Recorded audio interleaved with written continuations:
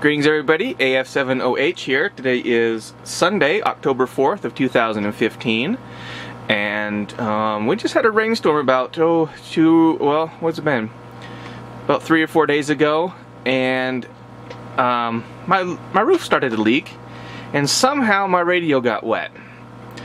Uh, and let me show you, I took it all apart and I put it all back together again and dried it out and put it back together again um, unfortunately, this is my new problem.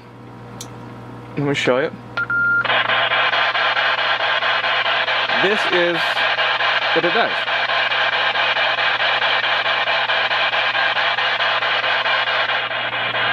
Okay, so basically what it's doing is it, it sounds like it's a squelch issue, but I've tried to reset the squelch and all, um, and I'm just not getting any change here or any improvement. It does receive well and it transmits fine.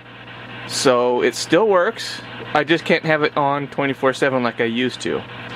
Um, an interesting note here. You see how it's pul or you do you hear how it's pulsating? If I push men the menu button, it stops pulsating and just goes into a standard squelch thing.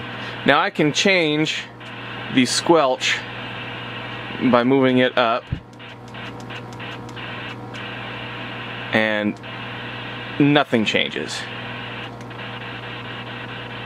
So I don't know exactly what's causing this problem.